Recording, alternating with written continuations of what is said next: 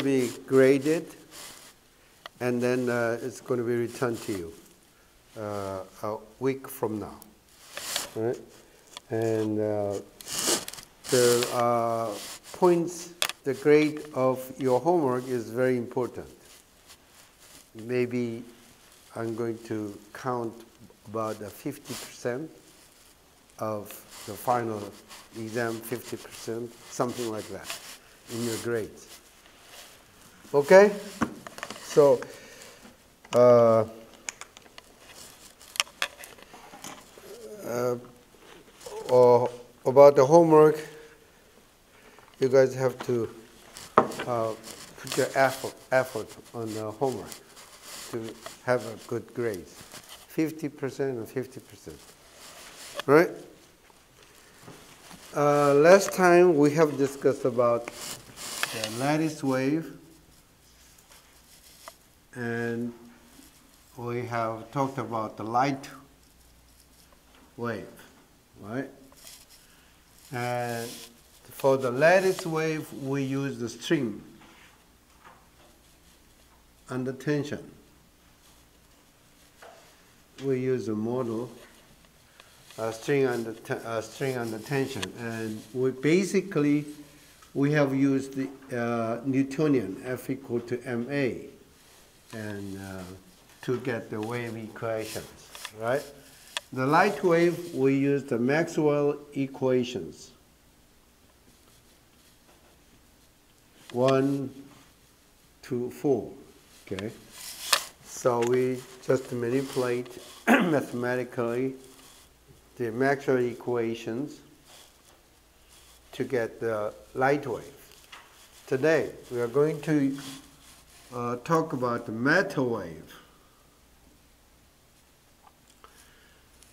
Uh, we are going to talk about the electron, whole things like this, a matter, and then we want to transform the substance into the waveform. How can you do this? We are going to use the Schrödinger equations. Schrödinger equations.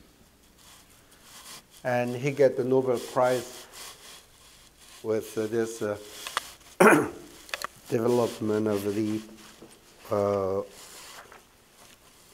equations. Well,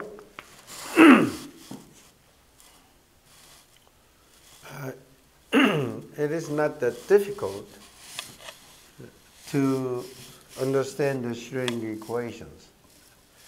I'm going to explain about the Schrödinger equation for five minutes, and uh, that is enough to understand the Schrödinger equations.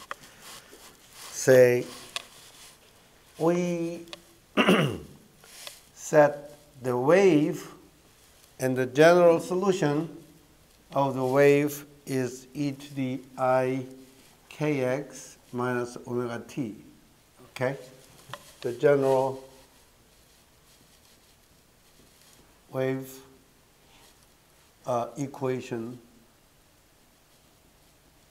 solution is going to look like this, right? That's what we know. And this part, this can be, sorry, distinguished to the ikx and e to the minus i omega t. And this is the time independent, independent term. And this is the time dependent term. Dependent. Okay, so we can distinguish that time dependent and time independent terms like this. And we use the psi for the time independent term and then e to the i omega t. So the wave equation can be represented with this equation, time dependent term and time independent term. Now, the characteristic of the exponential, we can uh, see that round t round psi is going to be minus i omega uh, phi like this, right? And then uh, if you make a second derivative of this with respect to the x, this is the first derivative with respect to the t, and this is a second uh, derivative with respect to the x, then we are going to have something like this. This is the characteristic of the exponentials. So from here, we can say the omega can be set like round t round phi, like this. And from here, the k square, wave number square, can be set uh, with respect to the wave equations just like this, right? And then at this point, what we're going to do is the uh, particle and wave interrelationship on the point of energy and the momentum. Momentum. Okay? Particle that is p square 2m plus potential energy. This is the kinetic energy for the particles. Right? And wave is just a, a function of the frequencies, omega. And momentum k is the particle mv all right? And the wave case, the h by k. So, all we have to do is just to put these things together to have, say, the wave uh, and, a, in a, the energy in a particle that is going to be 2m plus potential energy, something like this, right? And then if you represent this with the wave equation, then it's going to be uh,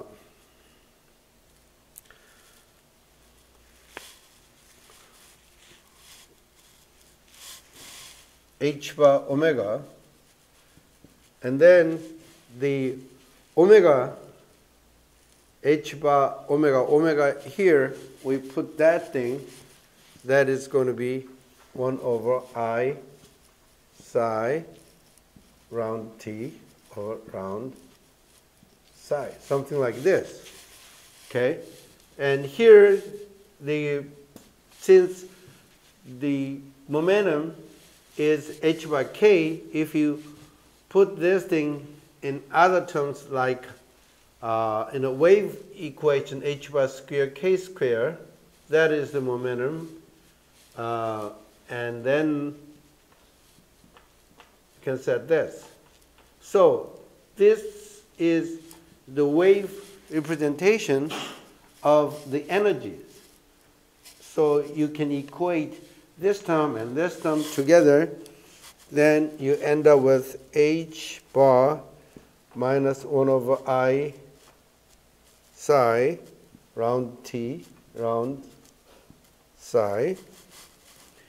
Okay, that is going to be h bar 2m minus 1 over psi round x square round square psi plus potential energies. So everything is said in terms of the wave. Okay, you some uh, rearrange this thing, then it is not difficult to get this simple equations. Minus h bar square 2m round x square round square psi plus potential energy times psi. And we call this time dependent Schrodinger equation. All right? Now, if you separate the psi in terms of the time dependent term and time independent term, then it is not that difficult to have a time independent Schrodinger equation, which is going to be called time independent Schrodinger equations. All right, and then that is round the square psi over round x square plus 2m h bar square e minus potential energy psi and that is zero. That is time independent Schrodinger equations. And this is a time dependent Schrodinger equation.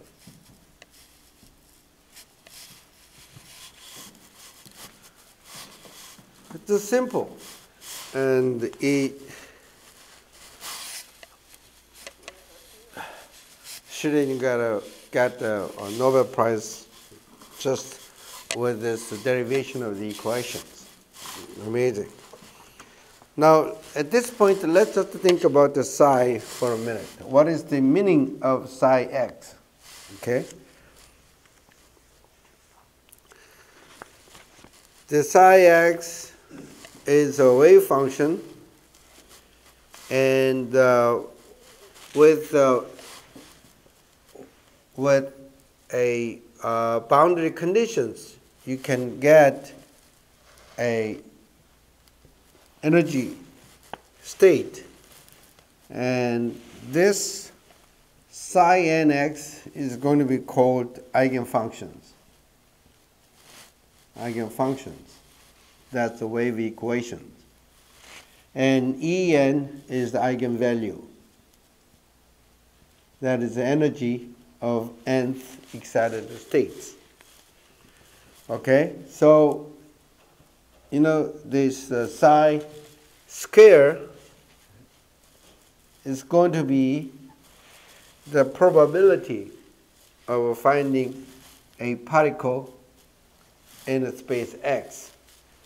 So this is going to look like this. And this is the most probable position to find the particle in the wave equation, equations, waveform. Right?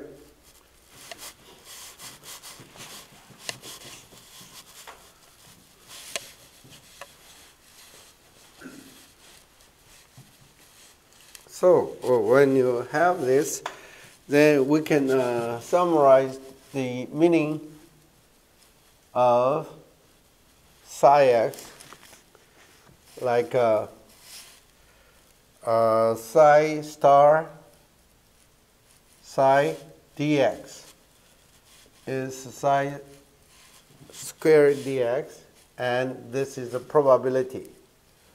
Probability of finding a particle between x and x plus dx. Something like this, right? And uh, to have this uh, uh, probability, you can set a b psi star psi dx is a constant value. And then uh, you can normalize that like psi star psi dx should be 1. Normalization. Jason for probability. In other words, in a space A and B, between A and B, to finding a, uh, the probability of finding a particle is 1 when the particle is captured in a space A and B, between A and B, right?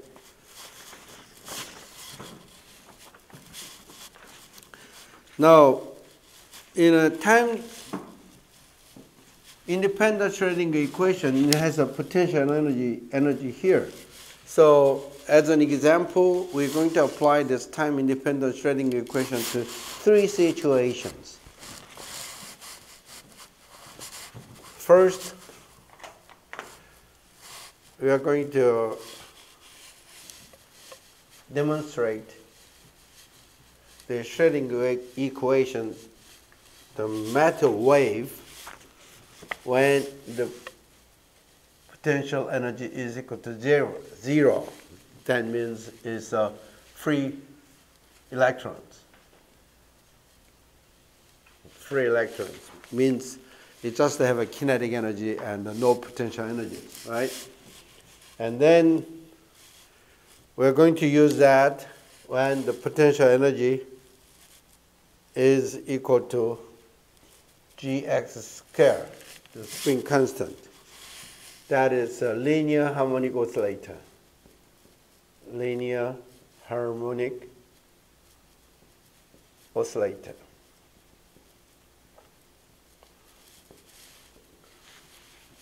Right? So a free electron means is a metal system. That is for the metal system, right? In a metal system, there are specific number of electrons not belonging to any specific atoms. We call that free electrons.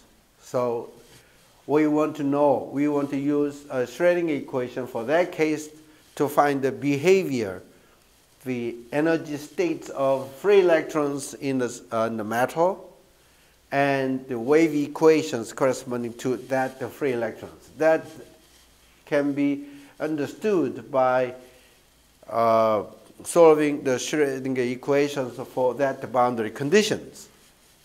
And this case, linear harmonic oscillator, you know, the solid is connected to the nearest neighbors by the Coulombic attraction and repulsion thing. So we can say that is uh, x, y, z directions, it's oscillating, but not really free. It cannot be out of the position. It just uh, uh, stays there with the vibration. That is the oscillator. Okay, so it, this is uh, related with the phonons. Lattice, uh, lattice, uh, similar to the lattice uh, wave case. Okay, now finally, we're going to apply this to uh, the case where the potential energy is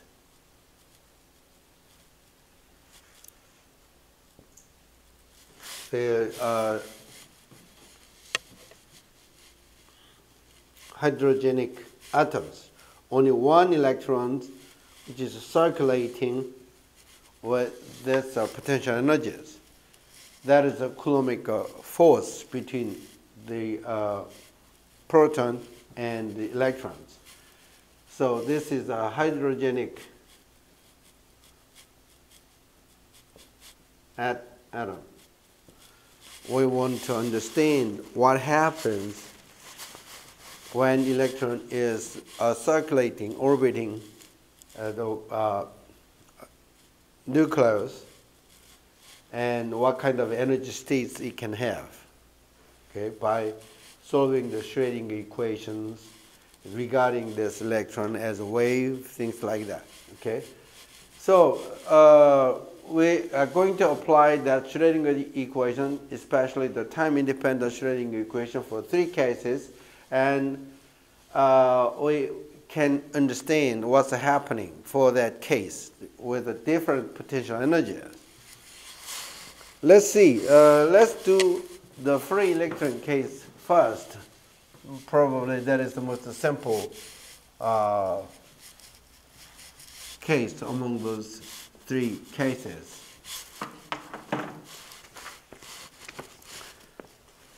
And that is uh, confined free electrons. Mathematically, it means that the potential energy is infinity outside this box, but inside this box, the potential energy is zero. So there is a, a three, and then uh, the dimension of this is one dimension thing, let's say the length L, okay? Then what kind of energy states it can have if there is a uh, free electrons captured inside this box, okay? Well, the Schrodinger time independent Schrodinger equation is just E psi is going to be h bar squared 2m round x square round square psi and then potential energy and then psi x okay that is the uh, just this. You just manipulate that equation, then you can easily get this equation. And in the free electron case, the potential energy is equal to zero. So the